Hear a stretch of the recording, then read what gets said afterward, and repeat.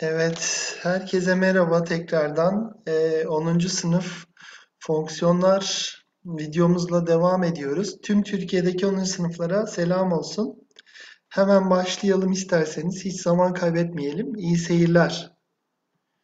Evet, e, en son kaldığımız yer fonksiyon grafiklerinde kalmıştık hatırlarsanız.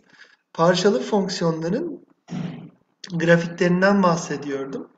Tanım kümesinin alt aralıklarında farklı birer kuralla tanımlanan fonksiyonların grafikleri çizilerek parçalı fonksiyonun el, e, grafiği elde edilir diyoruz.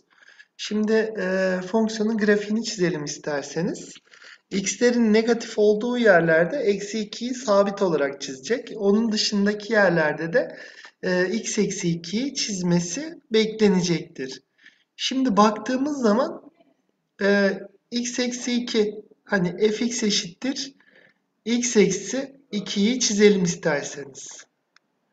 Şimdi burada x yerine 0 yazdığımız zaman e, y'si eksi 2'de, y eksenini eksi 2'de kesiyor. e, ve y eksenini eksi 2'de, x eksenini de 2'de kesmesi gerekiyor. Ama sıfırdan büyük olduğu yerlerde olması gerekiyor.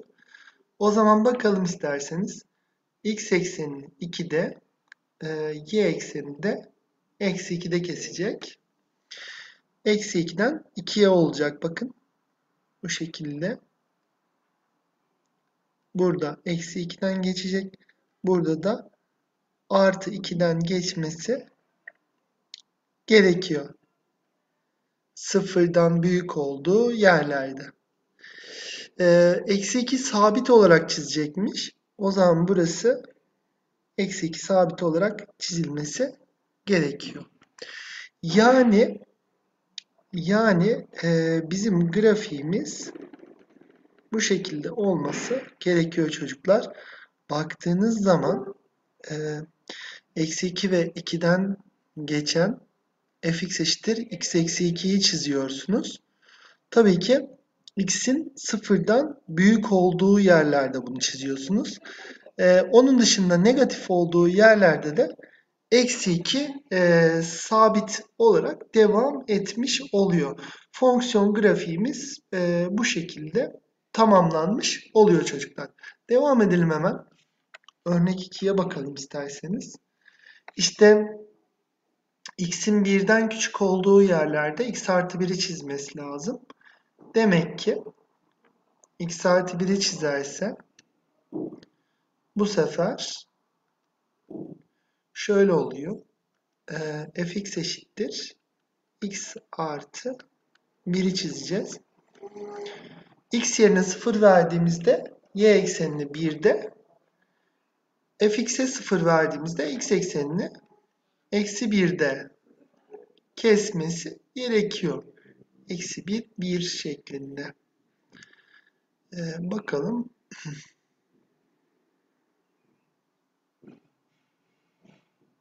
Şöyle olacak.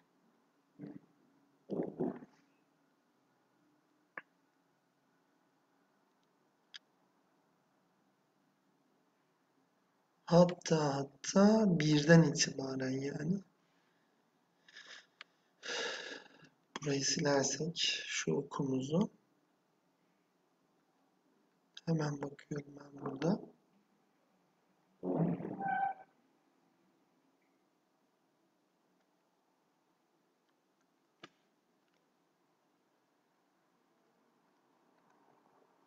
Böyle böyle gösterebilirsiniz.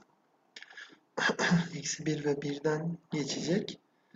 Ondan sonra tam 1 olduğunuz yerde 1 olduğunuz yerde 2 olması gerekiyor. O zaman şöylemesine devam ediyor.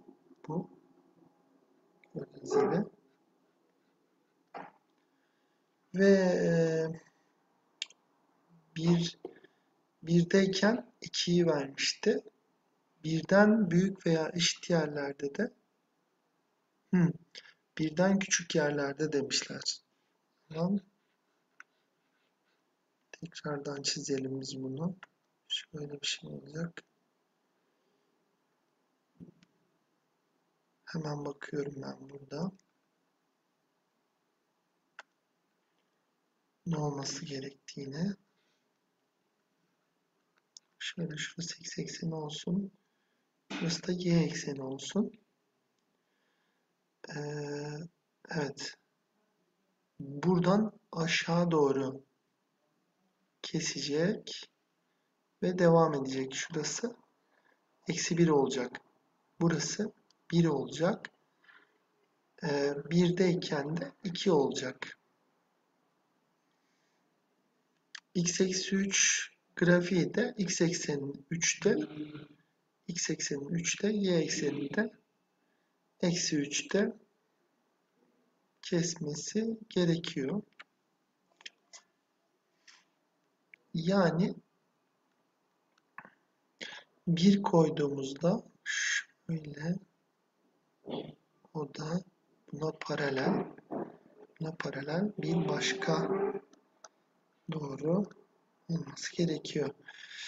Bir yazdığımızda o 2'yi gösterirken tabii şu ucu açık olacak. Çocuklar bu ucu kapalı olacak. Bir yazdığımızda burada eksi 2'yi gösteriyor. Şurada 3'ten geçiyor. Kontrol ediyorum. Eğimi 1 olan iki tane paralel doğru bu şekilde çizilmesi gerekecektir. Bunların bu şekilde çizilmesi normaldir diye düşünüyorum. Şimdi örnek 3'e bakarız. Ee, parçalı fonksiyonlarda dediğim gibi tek tek tek tek bunlarla uğraşmanız gerekecektir. Örnek vermemiz gerekirse hemen işte e, 0 verdiğimde eksi 1 y ekseninde eksi 1'de x ekseninde 1'de kesecek. x ekseninde 1'de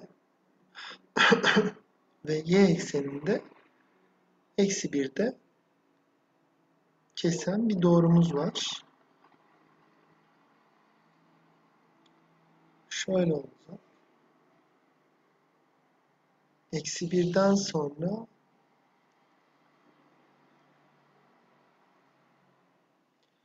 eksi 1'den sonra e, y eşittir 3 doğrumuz var.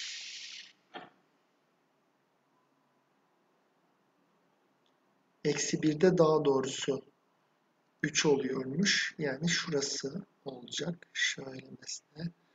Burası boş olacak. Daha sonra da buradan sonra da eksi 1'den sonra da e, 2x'i çizmesi gerekecek. y eşittir 2x'i nasıl çizebiliriz? y eşittir 2x orijinden geçecektir.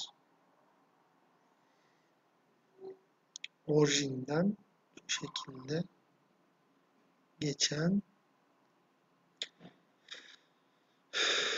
bir doğrumuz yani o da böylemesine çizilecektir. Çünkü eksi 1'de eksi 1'de bu da eksi 2 oluyor. Bu da eksi 2 oluyor. y eşittir 2x olduğu için. Eksi 1 eksi 1'den de eksi 2 geldiğini görebilirsiniz. Bunda grafiği buna benzeyecek arkadaşlar. E, parçalı fonksiyonların grafiğini dediğim gibi analitik geometride nasıl doğru e, grafiği çiziyordunuz parçalı bir şekilde devam edersiniz. Mesela şimdi bizden Nesibe Aydın hocam fx fonksiyonunun kuralını istemiş. Eğer fx fonksiyonunun kuralını istiyorsa ne yapacağız? Bu orijinden geçtiğine göre y eşittir x burası. E bu da sabit eksi 2 sıfır kırılma noktası arkadaşlarım. x büyük eşittir 0 iken y eşittir x'i çizeceğiz x'in sıfırdan daha negatif olduğu yerlerde de eksi 2'yi çizmemiz gerekecektir. eşittir eksi 2'yi çizmemiz gerekecektir diye düşünüyoruz. Yani bakalım doğru cevabımız doğru mu? fx eşittir gördüğünüz gibi y eşittir x, x büyük eşit 0 iken e, y eşittir eksi 2, x sıfırdan daha küçük iken. Evet. Ee, devam ediyorum şimdi.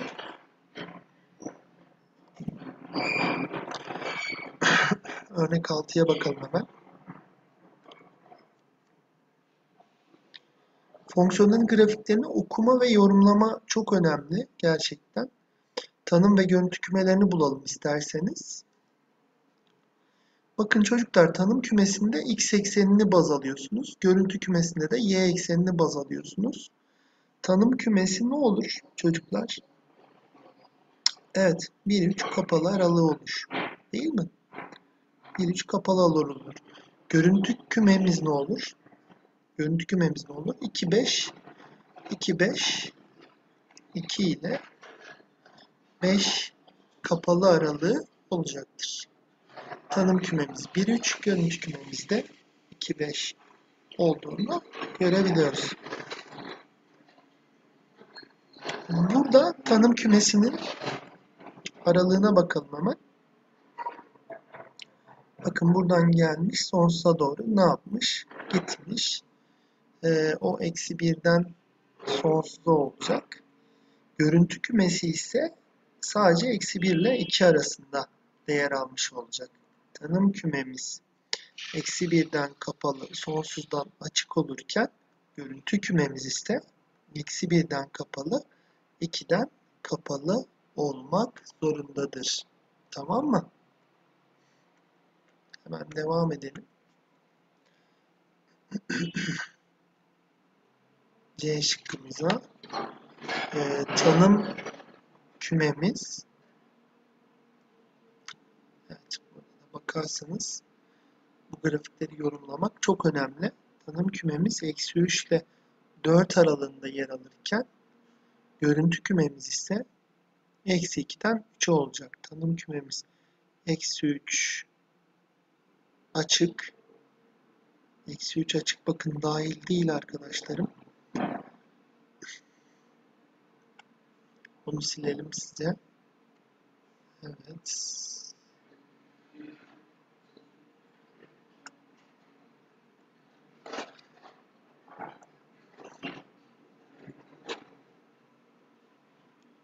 Eksi 3 açık.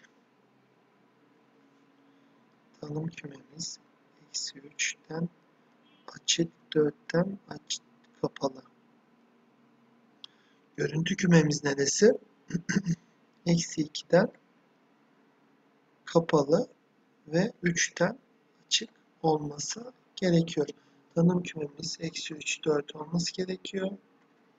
Ve görüntü kümemiz de eksi 2, 3 olması gerekiyor. Gördüğünüz gibi. Evet. İsterseniz e, buradaki örnek 6'yı siz yapın. Örnek 6'yı siz yapın diyorum. E, ne olacaktır? Tan lafla söyleyelim. E, tanım kümesi eksi 1'den açık 3'ten açık olacak. Görüntü kümesi de sadece sadece 2'den oluşacaktır diyoruz. Şimdi gelin e, bu grafik yorumlamaya devam edelim. Grafik yorumlamayla devam ettiğimiz zaman f-3 kaçtır diyor. Şu eksi 3'e baktığımız zaman buradan y eksene dik alın lütfen. Bunun 2'ye eşit olduğunu görebilirsiniz. f2'nin de 1'e eşit olduğunu görebilirsiniz.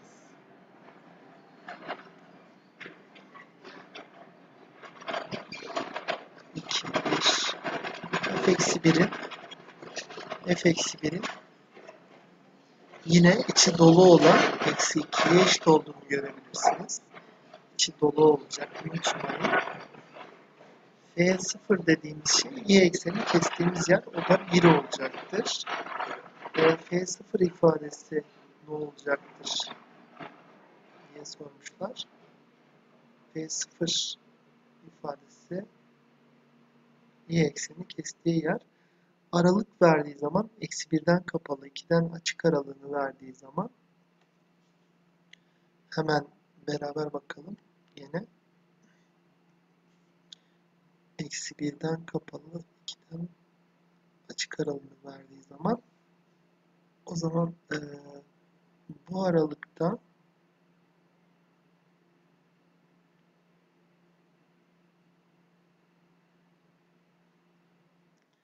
nereye kadar inmiş oluyor fonksiyonumuz? Yani şurası oluyor.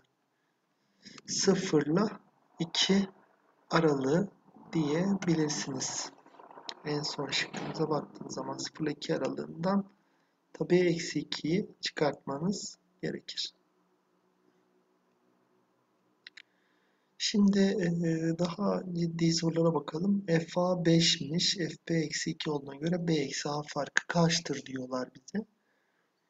Şimdi FA 5 dediğine göre FA'mız 5 demişler. 5 burada. 5'i veren değerimiz eksi 1. Eksi 2'yi veren değerimiz de artı 3. Burası eksi 1. Burası da artı 3 olmuş. B eksi A diyorlar. 3 eksi eksi 1 olacak. 3 eksi eksi 1 de cevabımız 4'tür. Doğru yanıtımız 4'tür çocuklar. Evet, e, bu örnek 9'da hangileri fonksiyondur, hangileri fonksiyon değildir gibi bir şeyimiz var. Onunla ilgili bir kere verilen grafiğin fonksiyon olması için e, artık size bir şart vereceğiz.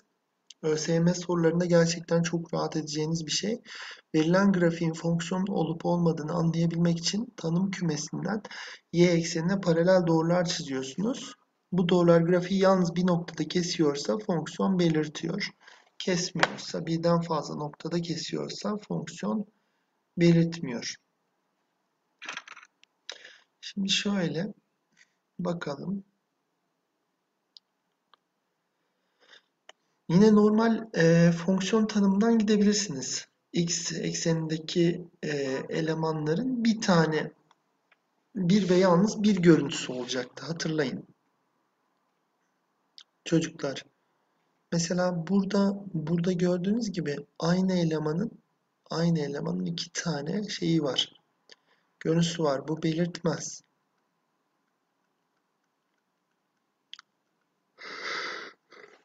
Ama bu e, belirtir. Bu kesinlikle belirtir. Bu şekilde normal fonksiyon tanımından bakabilirsiniz. Bakın mesela şu elemanın da iki tane annesi var. Olmaz. Gördüğünüz gibi. E, ama onun haricinde de kuralı dikkatli okuyalım. E, şimdi y eksenine paralel doğrular çiziyoruz. Y eksenine paralel doğrular kesiyoruz. Yalnız bir noktada kesiyorsa fonksiyon belirtir. Birden fazla noktada kesiyorsa fonksiyon belirtmez diyoruz. Y eksenine paralel olması gerekiyor. Ona dikkat edin lütfen. Evet, şimdi çizdiğimiz doğrulara bir bakın lütfen. Şu şekil. Gördüğünüz gibi bir noktada kesiyor. Burada iki ya da daha fazla kestiğinde bu belirtmiyor. Belirtmez. Bu ne yapar? Belirtir. Y eksenine paralel doğrular çiziyorsunuz. Unutmayın. Devam edelim. E, grafiklerden hangisi R'den R'ye bir fonksiyon grafiğidir diyor. R'den R'ye bir fonksiyon grafiğidir diyor. Ya gördüğünüz gibi çocuklar 4, 5, 6 fonksiyon belirtmez. 4, 5, 6 fonksiyon belirtmez. Neden? Gelin bakalım beraber. Bakın. Bakın. En az iki tane en az iki tane kesişim noktası var. Veya şunlar. En az iki tane. Görüyor musunuz? Veya bunlar. Baktığınız zaman bu 4, 5, 6 belirtmez yani. 4, 5, 6. Burada fonksiyon belirtmedi. 1, 2, 3 fonksiyondu. Ee, Birebir örten veya içine olduğu yatay doğru testiyle belirleniyor. Yatay doğru testine göre x eksenine bu sefer paraleller çiziyoruz. Daima keserse fonksiyon örtendir.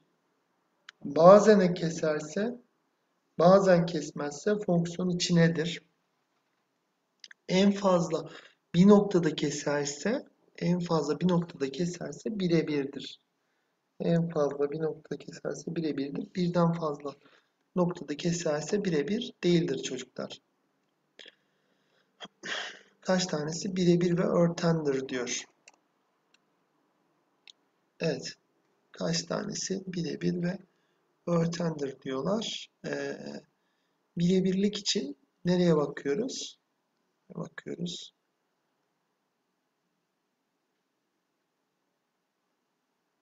Gördüğünüz gibi. Bakın ne oluyor? Ee, kesinlikle birebir değildir bunlar.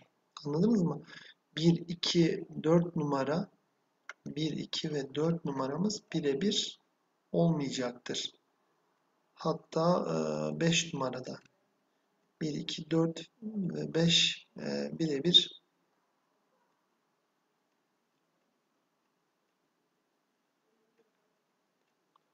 olmayacaktır. Birebirlik için en fazla bir noktada keserse fonksiyon birebirdi. Birden fazla noktada kesinde birebir değildi. Evet, e, fonksiyonlardan kaç tanesi birebir ve örtendir diyor. Şimdi birebirliğin elendiklerini eleyelim. 5 numaramızı eleyelim. İsterseniz hepsini aynı anda aynı ekranda göremiyorum. Öyle bir sıkıntımız var şimdi. Şöyle baktığımız zaman ben aynı ekrana almak istiyorum. Heh, şimdi e, bunlardan kaç tanesi hem birebir hem de örten olacak? Bunu size yorumlamak isterim. Baktığımız zaman bunun birebirliği bozuluyor. Bozuluyor. Birebirliği bozuluyor. Ee, evet. Bunların birebirliği bozuldu.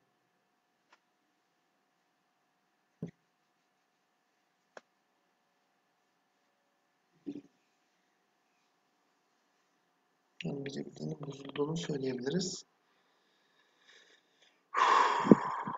Tam örten olması için bir kere sıfırda da değer alması lazım. Şu da gitti. Evet şimdi 3 ve 5'e lütfen dikkatli bakın. 3 ve 5'e dikkatli bakın çünkü bunlar hem birebir hem de e, bütün reel sayıları örttüğünü görebiliyoruz. O noktada bile e, içini doldurabiliyorlar. Ona göre 3 ve 5'ten dolayı iki tanesi birebir ve örten olması gerekiyordu. Evet. Hemen örnek 12'ye bakalım isterseniz. Fonksiyonun sıfırı kaçtır diyor. Evet. Fonksiyonun sıfırı. Dediğimiz kavrama bakalım. Şimdi fonksiyonun sıfırı demek arkadaşlar fa eşittir sıfır yapması gerekiyor. Fonksiyonun sıfırında baktığımız zaman fa eşittir sıfır olması gerekiyor. Analitik geometri derslerinden bildiğimize göre x bölü 4 artı fx bölü 3 eşittir 1 olmalıydı. Şimdi e, fa'yı sıfır yapan değeri arıyoruz biz. O zaman yani x eksenini kestiği yer olması lazım. Evet. x eksenini kestiği yeri arıyoruz. Fonksiyonun sıfırı 4'tür o zaman. Doğru mu? Evet. Fonksiyonun sıfırı 4'tü. F4 sıfır olduğuna göre sıkıntımız yok. Fonksiyonun sıfırları toplamı kaçtır diyor. Yani fonksiyonun sıfırı kavramından e, fonksiyon grafiğinin x eksenini kestiği noktalar anlaşılması lazım. Bir tanesi eksi 4, bir tanesi eksi 1, bir tanesi de artı 3 olduğunu görüyoruz. Bunların toplamı da bize eksi 2'yi veriyor. Fonksiyonun sıfırları toplamı. Yani kastedilen bu. Gerçel sayılardaki e, çözüm kümesi nedir diyorlar arkadaşlarım. Tabi burada fonksiyonumuzu sıfırlayan bir değer yok. Yani e, fonksiyon grafiğimiz x eksenini kesmiyor. O zaman boş küme. O zaman boş küme olması gerekiyor. Ee, burada fen liselerine yönelik bir soru tipimiz var. Az küçültürsem zannediyorum aynı ekranda çözebiliriz. Örnek 15'e bakalım. Fen liselerine yönelik Nesip Aydın hocamın sorduğu bir soru var. Eksi 1'in ters görüntüsü diyor çocuklar. Yani eksi 1'i veren kim? Eksi 4. Ondan sonra 1'i veren kim? 0. Eksi 1 2 aralığının ters görüntüsü nedir diyorlar. Yani eksi 4'e 5 olması lazım. Tanım kümesini kastediyorlar. O zaman da eksi 4'e 5 olması gerekiyor. Hemen cevabımızı kontrol ediyorum. Eksi 4 0, eksi 4'e 5 olması gerekiyor çocuklar. Ters görüntüde sadece şeye bakıyorsunuz. Yani f grafiğini verip ters görüntü soruyorlarsa e, işte eksi 1'i veren değer hangisidir diyor. Yani eksi 4. İşte 1'i veren değer hangisidir diyor. Yani 0. Eksi 1, 2 e, görüntü aralığını veren eksi 4, 5 tanım aralığıdır. Onu söylemek istiyorum. x ekseninin altında kalan kısımda fx negatiftir.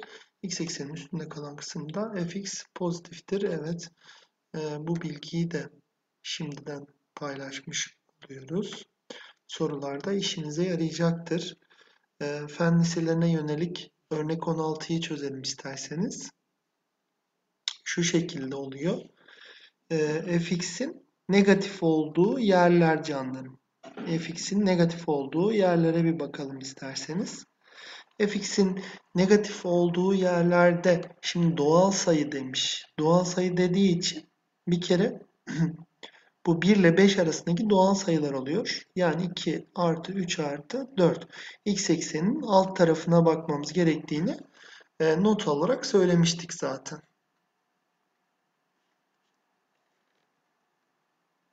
Cevap 9 olmalıydı orada. Doğru.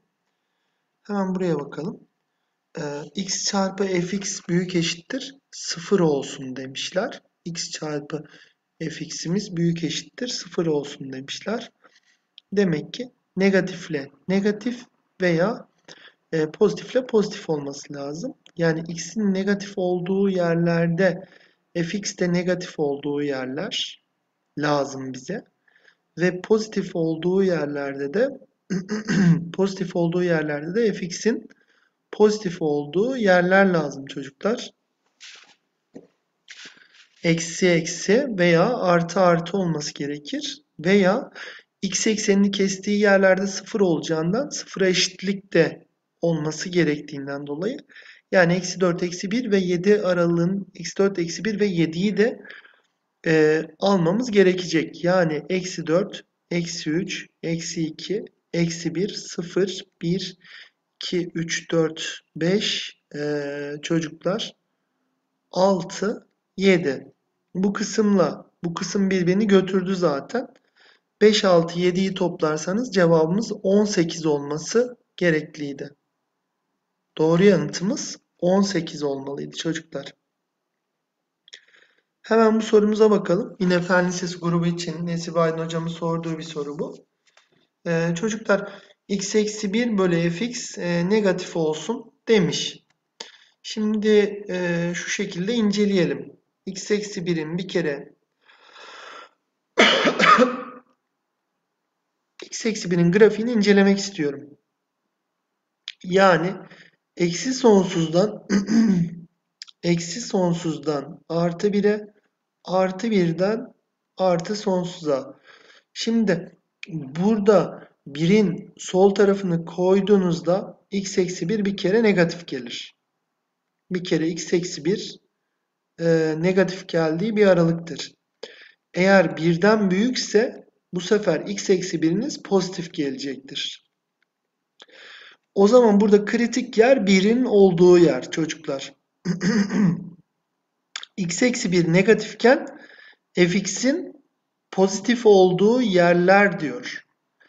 x eksi 1 negatifken negatifken e, bunun pozitif olduğu yerler nereler? Buraya kadar. Doğru mu? Evet. Ee, demek ki eksi birden sıfıra baktığım zaman ee, pardon eksi birden eksi birden bire eksi birden bire olması lazım. Peki dediğim gibi bu negatifken fx negatif olması fx pozitif olması lazım. X eksi 1 pozitifken x eksi 1 pozitifken çocuklar bu sefer fx'in negatif olması gerekiyor. Yani yani e, burada da fx'in negatif olduğu yerlere bakmamız lazım. o da ne olacak? Ne olacaktır? x eksi 1'in pozitif olduğu yerlerde x eksi 1'in pozitif olduğu yerler 1 ile sonsuz aralığında. 1 e, ile sonsuz aralığında fx negatif değil ki. Burası kaldı sadece. x eksi 1'in negatif olduğunda yani 1'in e, 1'in sol tarafında çocuklar fx'in pozitif olduğu yerler. Bakın burası da var. Yani cevabımız sonsuzdan eksi 4 açık aralığına olacak. Birleşim, birleşim eksi 1 ile 1'in kapalı aralığı olacak çocuklar. Eksi 1 ile 1'in kapalı aralığı olması gerekiyordu. Fen liselerine yönelik bir soruydu. Evet, fonksiyon grafikleriyle beraber olduk. Ee, bileşke fonksiyonla devam edeceğiz. Hepinizi çok seviyorum. İyi günler diliyorum. Görüşmek üzere.